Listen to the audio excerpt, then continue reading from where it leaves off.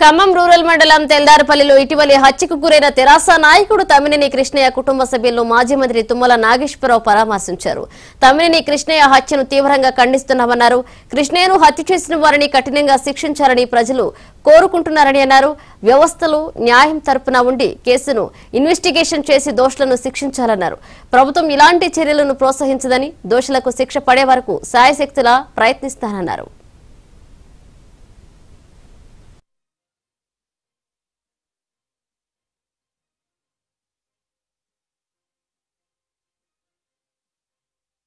పెద్దలు కృష్ణయ్య గారి హత్యని తీవ్రంగా ఖండిస్తూ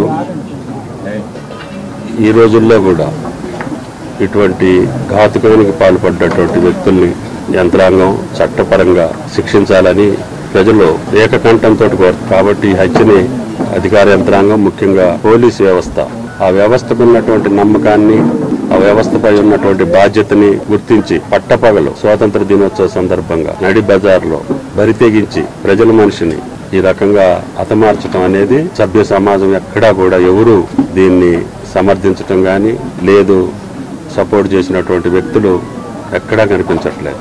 వాళ్ళ అంతరాత్మ కూడా ఘోషించేటటువంటి పరిస్థితి.